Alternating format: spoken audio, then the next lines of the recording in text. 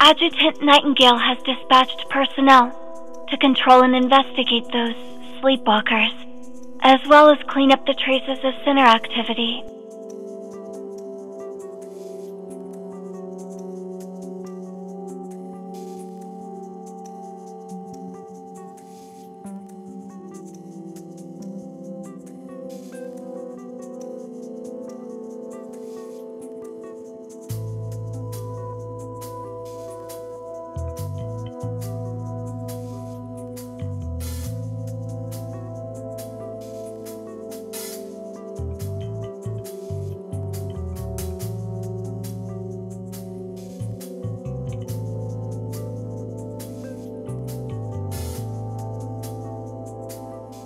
I'll stand guard downstairs. Adjutant Nightingale said the East Eastsiders hate sinners. We must keep a low profile so as not to hinder your work. Tate! Come, quick! Toasted marshmallows, braised meatballs, and sweet buttermilk tea. Eastside really is a f***ing awesome place! Come thank me! Ah! I won't let her run around again, Chief. Please keep a close watch on your belongings next time. If anything happens, call me and I will be there right away.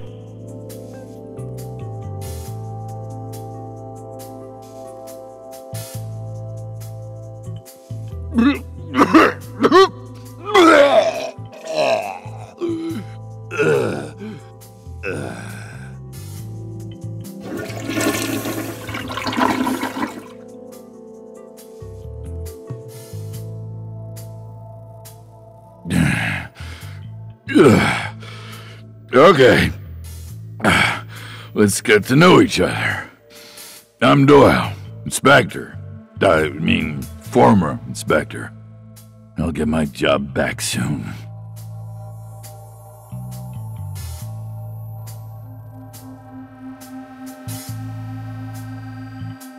You work for the old foxes, too. You don't look like it. You look like a newbie at most. Hmm. Thanks for what you did just now. I'm not used to fighting those things.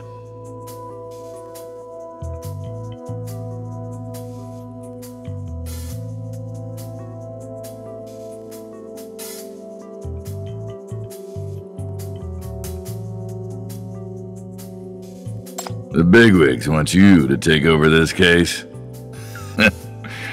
Fine, whatever. Remember this place. Use it as a contact point or a safe house. Up to you. The Ninth Agency checked for safety issues already, so it'll have to do. You'd be even less welcome elsewhere. Uh, and there's this notebook. It's trash. I won't need it anymore. You can have it.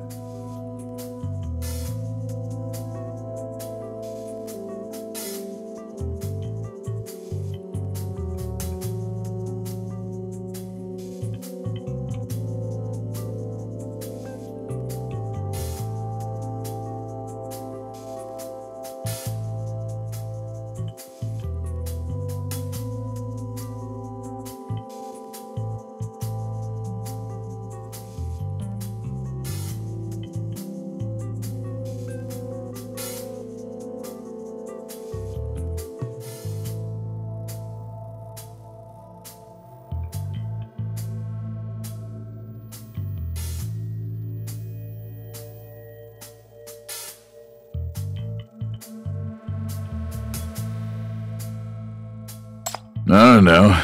This isn't Syndicate, but there aren't any sinners here in Eastside, so not that much trouble around here.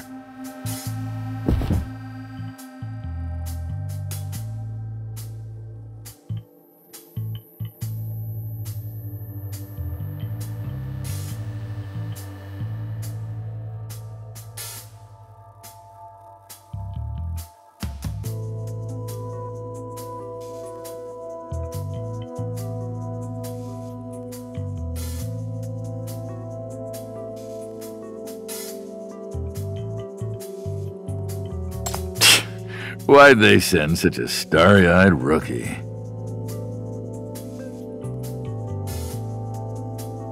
You don't know how to handle the black goo.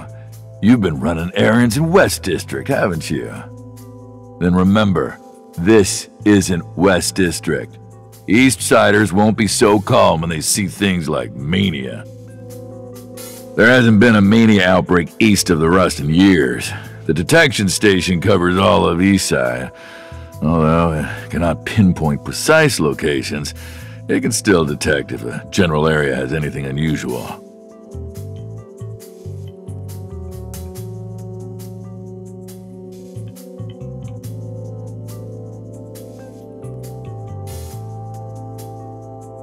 We can only be sure that there is an intermittently active center in District 14.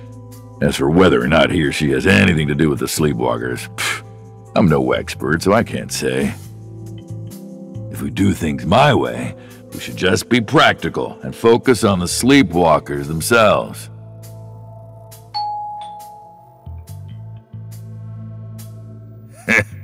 what good timing.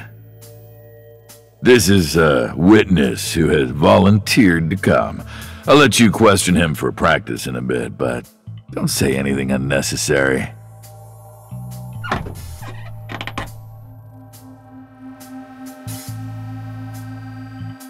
Oh? So the bigwigs really did send someone to check up on things. Doyle, you better be on your best behavior. Maybe this bureaucrat lady will help you get your job back.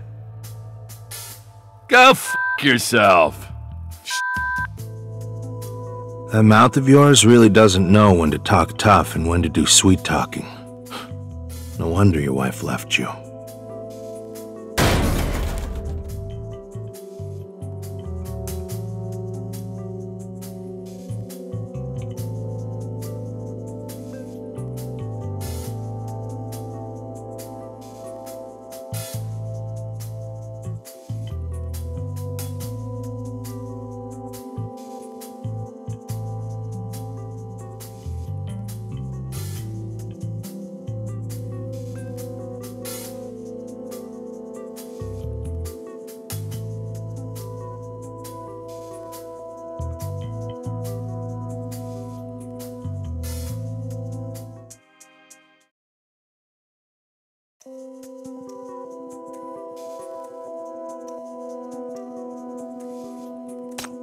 Hi, I'm a physician from the neighborhood clinic. I used to work for the laboratory of the District 14 Public Security Bureau. The ex-inspector and I used to be colleagues.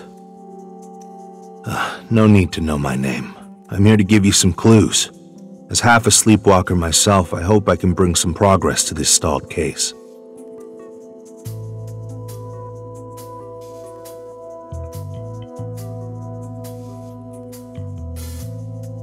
Yeah, because of my work, I've come into contact with some sleepwalkers and have a rough idea of their illness. If you can call it an illness, that is. Plus, not long ago, I also started showing some of the symptoms.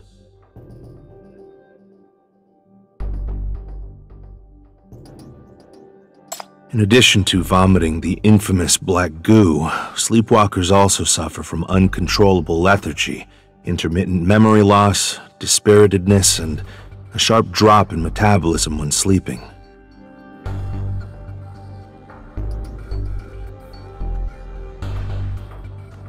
Really? I had been sleeping for 57 hours straight. When I woke up, I wasn't dehydrated, hungry, or feeling anything out of the ordinary. Do you still think this is normal? Let me put it this way. When I was asleep, I had many sweet dreams.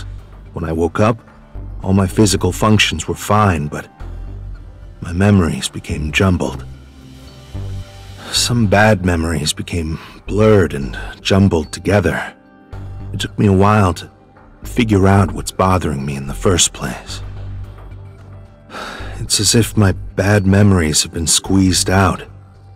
Maybe it's not the best metaphor, but it does feel like they've been squeezed out.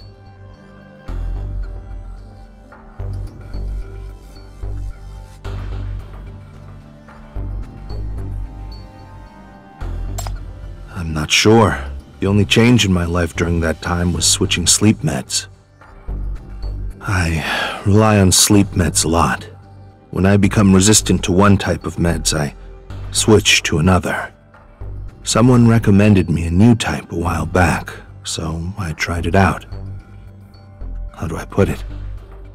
The effect was outstanding. I'm really ashamed that as a doctor, I developed drug dependence. If it hadn't been so hard to get those meds back then, I don't know how I would have turned out.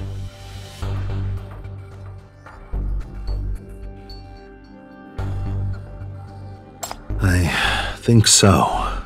Different people seem to have different levels of resistance to it. I'm one of the lucky ones. Those with weaker wills are more affected.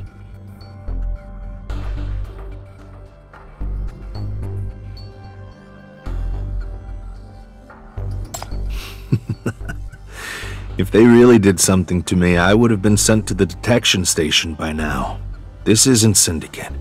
It's harder to see a sinner than to shake hands with the head of the council.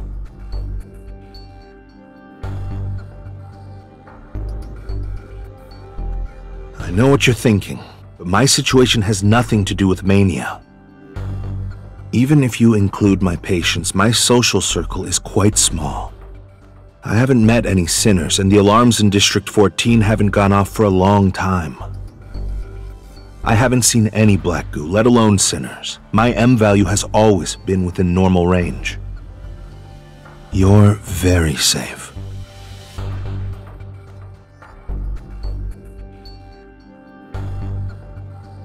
Do you guys have any more questions?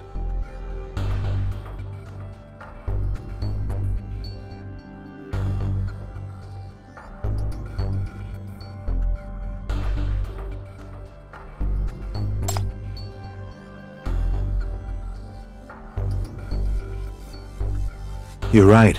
There are a lot of rumors about it. Maybe you've heard of the name. Ambrosia. True to its name, it's a heavenly new drink. Very sweet.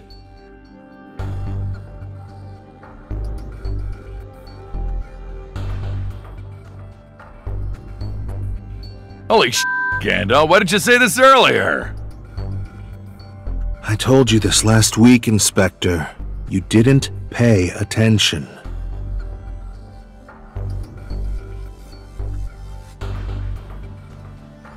I heard this name recently. I know where to buy this stuff.